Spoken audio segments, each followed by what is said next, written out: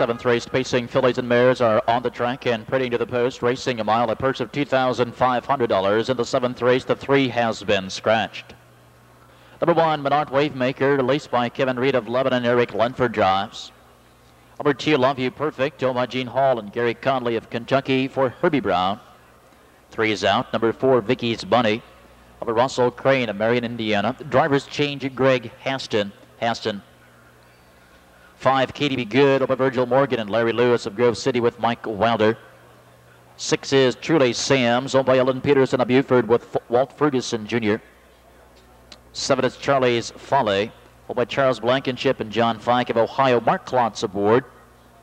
Number eight, Jimmet, owned by Kermit Schultz of Wapakoneta. Doug Routsong up.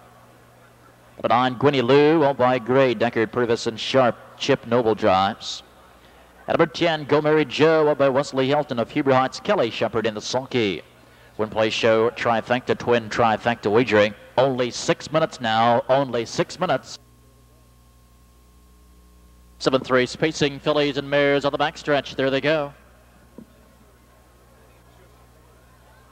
And they're off, and it's Menard Wavemaker from off the rail for the lead from the far outside. There goes Gwynny Lou. From between horses, it's Katie Be Good off the rail, racing uh, fourth Love You, perfect inside, and five, Vicki's Bunny. On the bill in sixth, Go Mary Joe. Angling in seventh, it's Truly Sam's. On the bill eighth, Charlie's Folly Jim at the early trailer. Right of the upper turn, Gwynny Lou has taken the lead, leads by two lengths. Inside and second, Katie Be Good.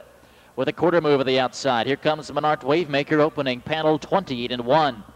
Coming to the stretch for the first time. Fourth on the rail. Love You. Perfect. Three lengths five. Vicki's Bunny. Another two lengths sixth. Go Mary Joe. Inside in seventh. Truly Sam's as they race through the stretch. On the front end, Menard Wavemaker and Lenford. They've cleared to take the lead. And Menard Wavemaker now with the front shows the way. Inside a second to Gwynny Lou. It's a gap of three and a half lengths. To Katie Be Good. They're at the half. 56 and 3. Off the turn down the back stretch, and Menard Wavemaker will need a breather here as she leads by two. Gwynny Lou on the inside is racing as second. Gapping slightly third, it's Katie Be Good. First up on the outside of fourth. Here comes Love You, perfect, followed by Vicki's Bunny.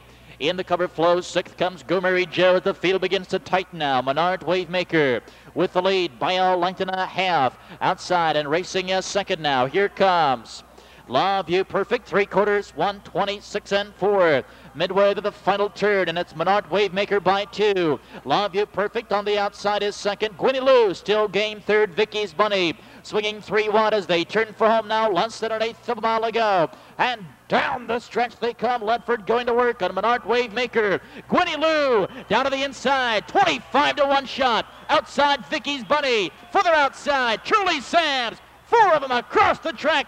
Vicki's Bunny gets up to win it.